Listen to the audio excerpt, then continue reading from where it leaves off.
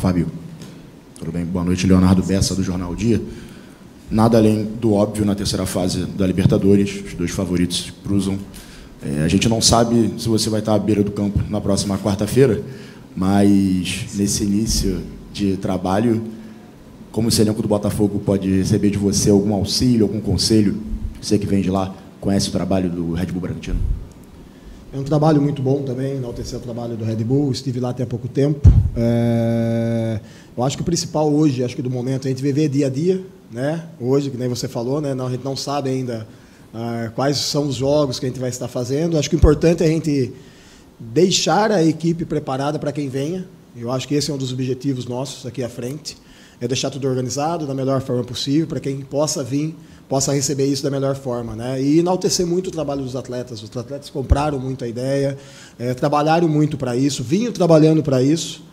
É, e isso hoje foi um, acho que um prêmio, né, um bônus assim para a torcida também do Botafogo, de quem veio hoje realmente veio para torcer, veio para enaltecer os jogadores. Eu acho que a gente conseguiu, né, eu acredito muito nisso, trazer uma energia muito positiva, mas essa energia veio muito de fora para dentro também. Os jogadores sentiram isso no jogo de hoje.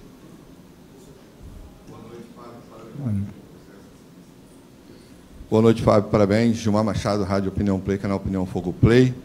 É, uma coisa que eu li essa semana que, que mexe bastante com qualquer profissional, né? É ler um pouco, conhecer um pouco da trajetória do, do, do profissional que está trabalhando no clube, que está se desenvolvendo, sua história né, é de, de, desde a formação, passando pela base. Você chega agora no Botafogo numa função que é a função de, de, de, é, de, de alguma maneira, estar ali pronto para qualquer momento. Tem, uma, tem uma, um, um conceito chamado adsumos, o Corpo de Fuzileiros usa bastante, que é estar presente, né? estar pronto para, a qualquer momento, ser acionado e fazer o trabalho que você está fazendo. Eu queria que você falasse um pouco de como que um jogo como igual a esse, uma vitória na Libertadores, é, também contribui com a sua com, a, com o seu desenvolvimento. E para o Júnior, a primeira pergunta que eu te fiz quando você chegou aqui é, é sempre aquela aquela ideia de da caminhada, né, da jornada, por tanta coisa que já que você passou para chegar até aqui e por tanta coisa que vocês vêm passando para chegar até um jogo como esse. Queria saber de você e é claro que também extensivo aos seus companheiros de como um jogo bem jogado, né, com uma história como essa de goleada, quatro gols, não é todo dia que se faz isso, também vai fortalecer vocês psicologicamente para né, a próxima fase da Libertadores. Vamos lá. Uh, essa função hoje que eu exerço é uma função que facilita muito a observação, facilita muito o contexto interno. Então, é, eu estou em torno né, de 40 dias dentro do clube.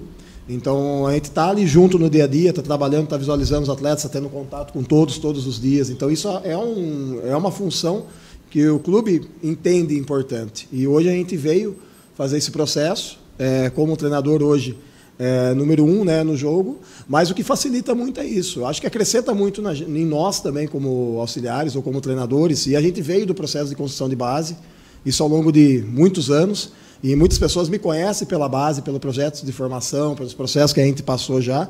É, e esse, né, esse plus hoje na minha carreira é estar numa, num clube no profissional. E o Botafogo hoje tem me dado essa oportunidade. Então eu tenho que aproveitar isso da melhor forma possível.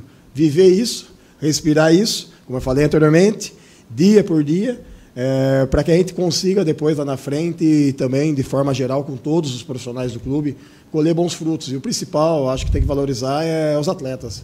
A gente só está aqui hoje conversando e falando aqui por causa dos atletas. Então, são eles responsáveis pelas coisas que acontecem dentro do campo. Se não for por eles, as coisas não acontecem. Não adianta. Não tem outra forma de, dessa, dessa conta fechar. É, vou emendar as duas respostas, respondendo a pergunta do amigo ali. É, o jacaré foi uma brincadeira com o Tiquinho, né? É, e acabou viralizando ali, a gente brincando, a galera pegou esse apelido. E o raio eu ganhei quando jogava pelo Fortaleza, né? Na Copa do Nordeste, fui artilheiro da equipe, a gente foi campeão e, e a torcida colocou esse nome, né? Raio Negro. É, então, esse apelido eu prefiro ser chamado de raio mesmo. sobre a outra pergunta, é, uma vez você me falou, né? Eu cheguei aqui, eu lembro de uma entrevista que eu falei que é, quem é, quem esperava algo de mim que ia ver a resposta dentro de campo. É, eu desacreditei de mim por, por muito tempo, até é, uma certa idade eu achava que nunca seria jogador profissional. Então, uma vez na Várzea, me falaram assim que eu tinha potencial e eu já estava já praticamente com 23 anos. E naquilo ali eu comecei a acreditar, comecei a trabalhar e eu percebi que a chave do sucesso, cara, é o trabalho e a confiança em si mesmo. Então, eu sou um tipo de pessoa que eu não ligo é, para o que falam de mim, que eu não vou conseguir, eu não ligo para quem diz que é, não é possível, que eu não vou fazer. Mano, eu vou errar, vou tentar e vou, vou fazer novamente, porque é, aos 23 anos eu fui para São Paulo e ouvi alguém dizer que estava muito tarde para o futebol. Só que eu acreditei e cheguei até aqui. Então, é, acredito que quando a gente acredita, quando a gente trabalha, quando a gente dá o nosso melhor, uma hora as coisas vão acontecer. Então, acho que é assim na nossa profissão, é, a gente estuda, as pessoas estudam, as pessoas se esforçam. E durante a trajetória a gente vê muitas pedras no caminho e nunca será fácil, nunca vai ser fácil passamos por dificuldade, mas a gente tem que ter fé em Deus e o trabalho é, vence qualquer dificuldade. Aqui, aqui Natália Curvelo, do Lance para o Fábio, tudo bom? É, queria saber qual é a importância para você de ter comandado a maior vitória do Botafogo em Libertadores e como que foi esse vestiário. E para o Júnior Santos, se ele dedica a vitória a alguém. Como eu falei, como a gente está iniciando a carreira no profissional, acho isso de suma importância, é algo marcante, é algo que a gente vai levar para sempre, né? É, o jogo de hoje. Mas, como a gente fala, né? Futebol é dia a dia, amanhã já é um novo dia, então a gente já tem que pensar já em, em novas situações, pensar em outro momento, mas para mim, em termos de carreira, é, é gratificante, né? Ter tido essa oportunidade e nós, como grupo, ter conseguido fazer esse jogo hoje, que foi um jogo assim muito bom. É, então, eu sempre agradeço, né, independente das vitórias, derrotas, eu sempre agradeço a Deus, porque é, se eu estou aqui hoje, é, tenho a certeza que foi por causa dele, passei por muita coisa, que um dia é, pretendo contar minha história de vida, minha trajetória aqui não foi fácil, é, nunca fui é, santo, nunca fui um bonzinho, mas assim, Deus ele me moldou, ele me transformou e, e assim eu sempre Sempre agradeço a Ele, independente do, dos meus erros, das minhas falhas. Sou um ser humano falho, mas sempre agradecer a Deus por tudo.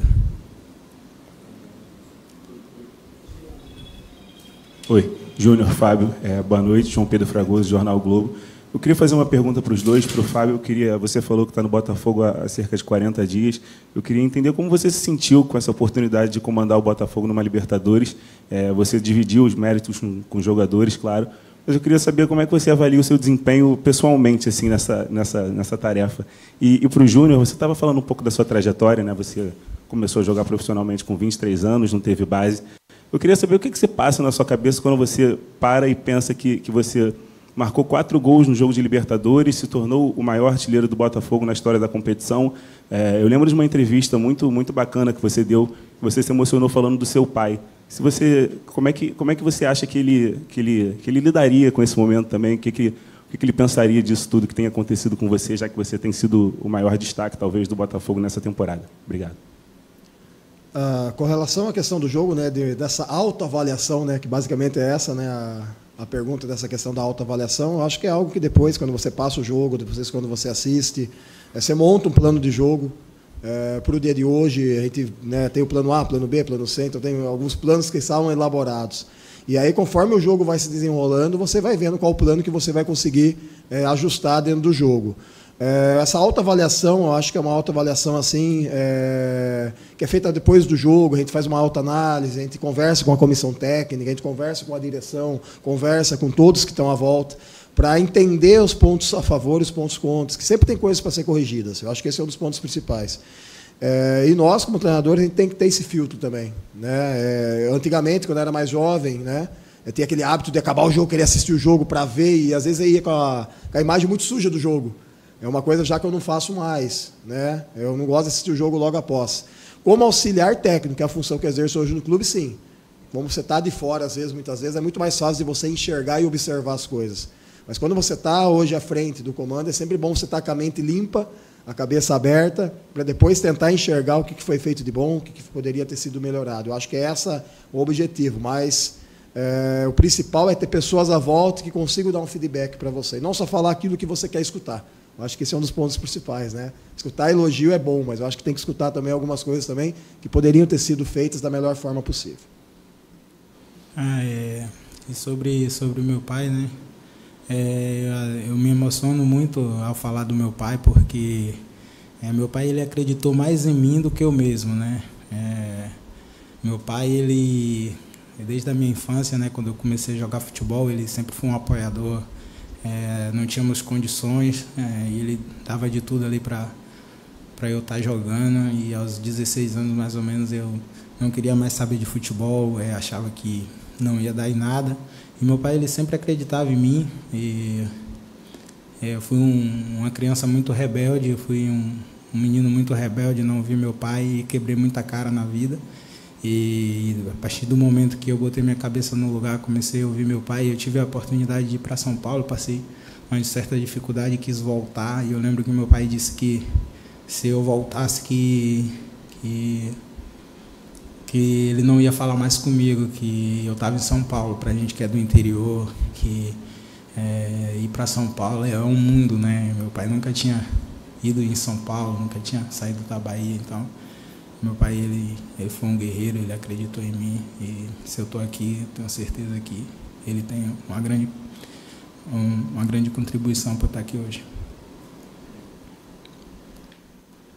Fábio Júnior, boa noite, parabéns pelo resultado. É, Fábio, é comum a gente ver no futebol brasileiro é, times abrirem uma vantagem no primeiro tempo e tirarem o pé, porque o resultado já está garantido e isso até passou pela minha cabeça ali depois do 3 a 0 no primeiro tempo. De repente o Botafogo vai fazer umas substituições, poupar alguns jogadores, tirar o pé.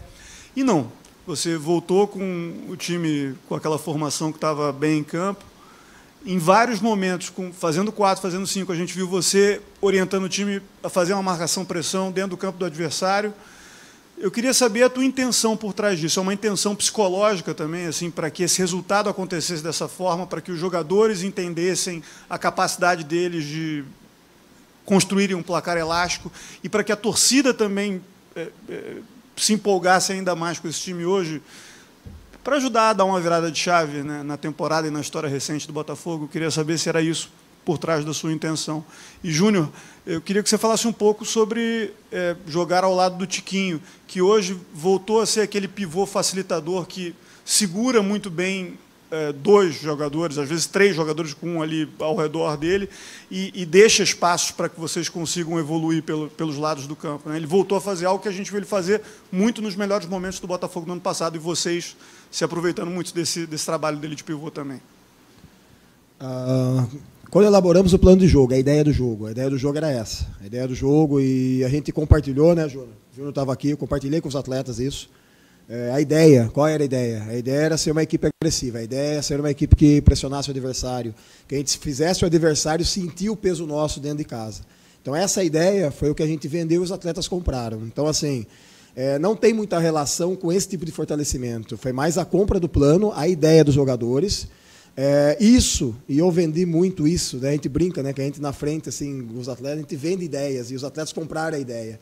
E uma das coisas que nós enfatizamos muito foi que com o peso da torcida a favor, é, isso é, geraria uma energia muito forte. E essa energia a gente transpiraria isso dentro do campo e colocaria isso na prática. Basicamente foi isso. E quando a gente colocou o plano de jogo, o Júnior está aqui, não pode, né? não deixa eu mentir, né, Júnior? Os atletas é, olharam e falaram: não, não, é isso que a gente quer. Então, acho que isso é, a, é, as relações casadas entre comissão técnica e entre jogadores. E a gente trouxe isso para dentro do campo. Essa energia desde o início do jogo, essa energia de já no início do jogo já buscar o gol, de já fazer e de continuar buscando isso. Então, todos os jogadores que entravam, entravam com esse ímpeto, entravam com essa ideia. E quando a gente foi para o intervalo do jogo, né, a gente pediu isso, para manter isso. Não deixa cair, não deixa cair, não deixa cair, mantém isso. E isso é um comportamento geral, um comportamento que vem do individual de cada um, mas tem que gerar isso numa, em algo macro, né, geral, da equipe. E os atletas conseguiram executar isso da melhor forma possível, com essa energia. E aí eu, dentro da minha parte do campo, o que eu fazia a cada gol, cada, fazia a cada lance era mantém, mantém, mantém, mantém. Os atletas, vamos lá, vamos lá, vamos lá e vamos manter. Então, basicamente isso. Tá? É a energia que vem de fora com a energia que vem de dentro do campo dos atletas para conquistar um bom resultado, conquistar um resultado expressivo que necessariamente esses atletas precisam também disso para é, virar essa chave. Tá?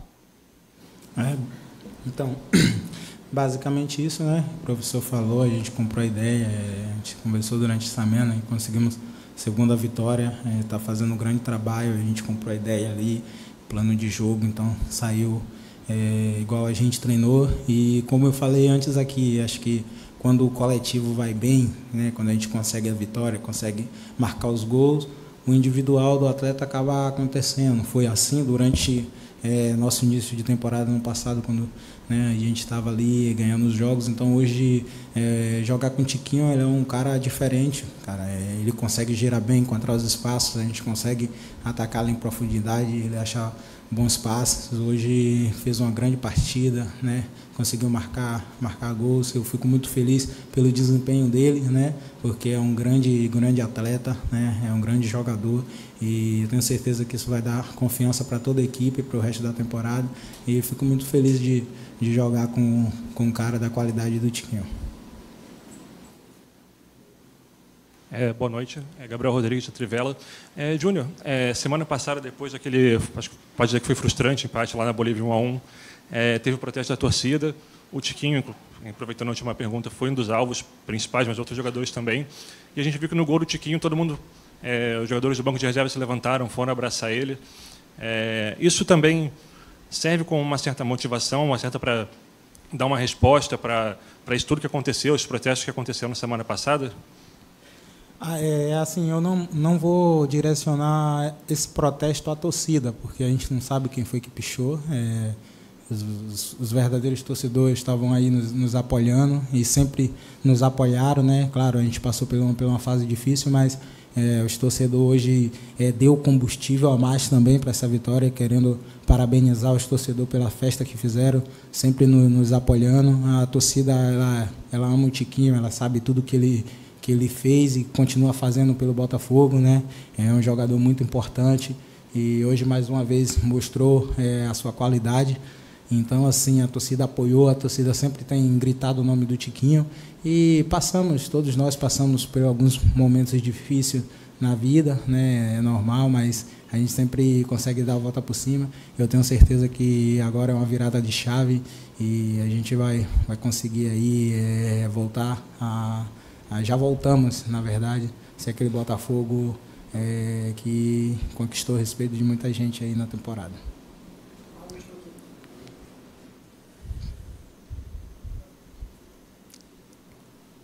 Fábio, boa noite. Parabéns pela vitória. É, você falou na última resposta sobre virar a chave. Sei que só tem uma semana que você assumiu como treinador, mas você mesmo falou que já está há 40 dias aqui. E parte psicológica é algo muito citado aqui, foi é citado em muitas entrevistas. Só tem uma semana que você é treinador, mas sobre isso de virar a chave, qual é a diferença que você já viu dos jogadores desde que você assumiu como treinador e o que você acha que falta ou está perto para virar a chave de vez em relação a tudo que aconteceu no passado? Uh, toda vez que fala a respeito desse assunto é um ponto delicado. Uh, eu, pelo menos, dentro do, do, dia a dia ali dentro da comissão técnica, desde o início do ano, quando a gente iniciou o trabalho, pouca gente falou a respeito, pouca gente colocou isso. Então, assim, tem muita gente remanescente do ano passado? Tem. Mas tem muita gente nova também. Então, acho que se a gente colocar sempre isso à frente, sempre isso à frente como justificativa, isso a gente tem conversado bastante, acho que esse período já passou, acho que esse tempo já passou. É, e a partir de, não de agora, a partir desde quando começou, dia 7 de janeiro de 2024, iniciou-se uma nova temporada. Então, desde aquele dia até agora, eu acho que a gente tem que colocar um ponto final em relação a isso, de falar do passado, falar do que aconteceu lá atrás. Já foi, já são dois, três meses atrás, já foi. Então, como eu falei anteriormente, se você pegar hoje o plantel nosso, tem muitos jogadores novos dentro desse plantel, tem jogadores remanescentes de, né, do ano passado, faz parte. Ganhar ou perder é uma coisa que muitas vezes a gente não controla dentro do resultado do jogo, a gente sabe disso, e sabe da dificuldade de controlar isso dentro do jogo. É, até um ponto hoje, né, e sendo a última pergunta, É, a questão do Marlon, a gente teve hoje, a, o Marlon não pôde estar disponível dentro do jogo, então a gente tem que é, colocar aqui um ponto e abrir uma aspas também em relação a essa vitória também. Tá? Ele que perdeu um ente querido. É, e gostaria muito de estar aqui conosco, né, comemorando essa vitória. Então acho que esse ponto a gente acaba muitas vezes esquecendo né, de algumas coisas da relação humana mesmo, de falar, é, colocando sempre a justificativa em algo que já passou. Então acho que Acho não, tenho certeza. Já foi, já passou, ponto final e vida que segue. Vamos para o próximo jogo, próximo dia de trabalho e assim que a vida, a vida nos dá isso, dá essa oportunidade de todo dia recomeçar. Então a gente já recomeçou em janeiro, cara, não é agora, não começou hoje, não começou semana passada. Desde o dia 7 de janeiro a gente começou uma nova temporada. E acho que isso é uma coisa que tem que ficar bem clara na cabeça nossa, na cabeça de vocês também, jornalista, dos atletas, isso já está muito claro, está muito claro isso internamente também né? E partimos aí para o próximo, pro próximo jogo. Acho que esse é, é, o foco principal nosso hoje como objetivo. Fechou? Obrigado, pessoal.